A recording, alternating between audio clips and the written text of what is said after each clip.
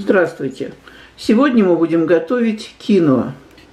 Киноа – это очень э, полезный продукт, так как э, в зернах киноа отсутствует глютин или же клейковина.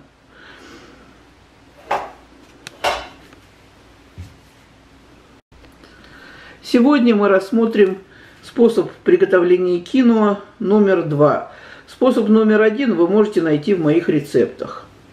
Итак, для приготовления потребуется одна чашка, я буду пользоваться ну, вот такой вот чашкой, э, зерен киноа, растительное масло, скажем, столовая ложка или чайная ложка, если вы хотите меньше, и соль по вкусу.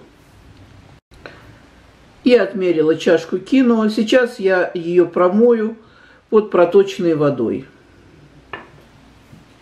Итак, я зажигаю газовую горелку. Ставлю на нее кастрюльку. Когда кастрюлька немного разогрелась, я вливаю сюда чайную ложку растительного масла.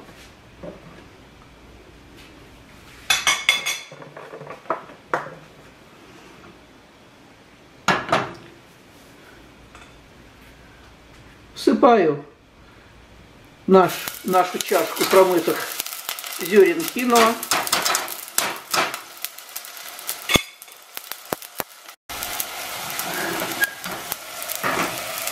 Я ставлю огонь, так сказать, уменьшаю до ниже среднего. И потихонечку обжариваю в масле зернышки киноа. Это занимает где-то примерно минут пять. Нужно постоянно помешивать, перемешивать их, чтобы они не прилипли к дну кастрюльки. Не забывайте постоянно помешивать. Я буду обжаривать до тех пор, пока из зерен испарится вода, и они слегка так вот прогреются, прожарятся в кастрюльке в масле. Этот вариант подойдет тем, кто не любит, кому не нравится вот такой специфический аромат зерен киноа после того, как они немного обжарятся, этот аромат, он уменьшится.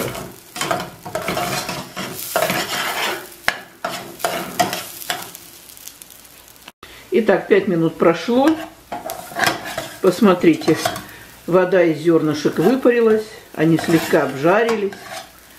Сейчас я буду добавлять воду. Воду мы добавляем из расчета одна часть зерен и две части воды. Значит, одна чашка у меня зерен и две вот такие части воды.